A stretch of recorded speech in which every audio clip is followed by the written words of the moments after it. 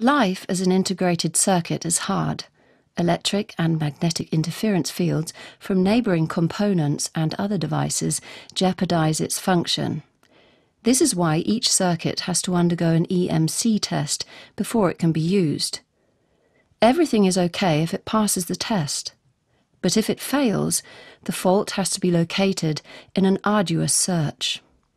Disturbance pulses generated by an ESD generator are normally used in fault localization nowadays, but every ESD generator also emits unwanted electric and magnetic fields.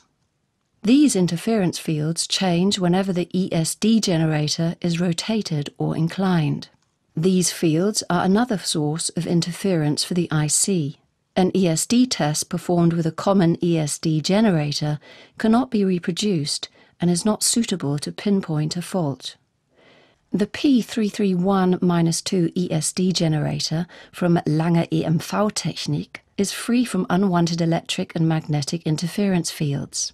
ESD tests performed with the P331-2 have pinpoint accuracy and can be reproduced exactly.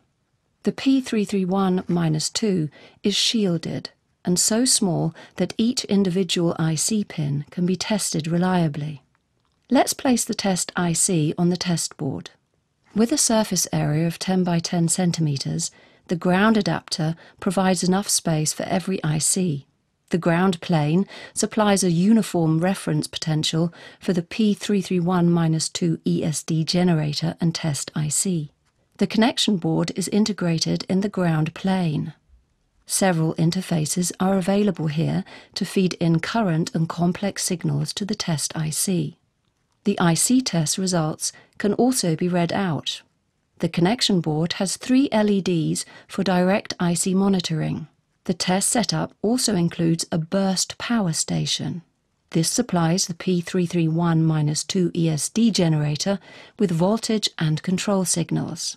The BPS 203 client software is used to set the pulse repetition frequency, the voltage, and polarity of the ESD pulse. The pulse of the P331-2 ESD generator can be injected in the IC via a series resistor, via a coupling network, or directly via the IC pin. The oscilloscope probe head is used to monitor the signals from the IC. A disturbance pulse is now applied to the IC.